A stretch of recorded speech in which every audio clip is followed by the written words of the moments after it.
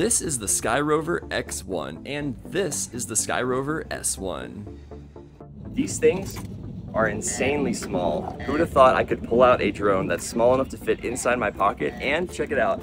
It's actually three times smaller than my propeller.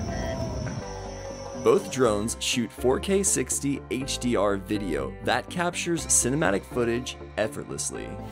360 degree obstacle sensing comes standard on both models, so you fly confidently whether day or night. The Skyrover X1 gives you up to 32 minutes of flight time, while the S1 pushes even further with up to 40 minutes in the air. The S1 gives you a strong, reliable max flight distance up to 12 kilometers, while the X1 extends that range all the way to 15. No stress, no guesswork, just smooth, intelligent flight.